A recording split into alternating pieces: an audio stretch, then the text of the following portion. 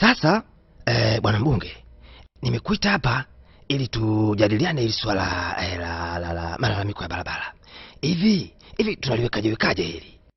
Sasa mimi ni- ningeshauri tu, tu, tu, tu, tuongeze ushuru kwa, kwa magari yote yale yenye matairi madogo, Al, alafu tupunguze ushuru kwenye magari yote yenye matairi makubwa. Unaona bwana, kwa sababu hao wenye magari madogo eh, ndio wanalalamika sana, vigari vyao si vidogo, vinakuangua chini. I, ila tukiwafosi wote eh, wawe na magari makubwa eh, hawatalalamika. Ewa mbunge, ndio maana napenda utendaji kazi wako. Hey, we, we mwenyewe si una, unajua kwenye kwenye barabara zetu hizi eh, ukiona gari kubwa unakuwa unaendaenda hivi unafanyafanya hivi eh, linanesa nesa yani uwawekee eh, barabara ya lami pamekuwa Ulaya hapa eh, hii ndio staili zetu toka eh, enzi na enzi.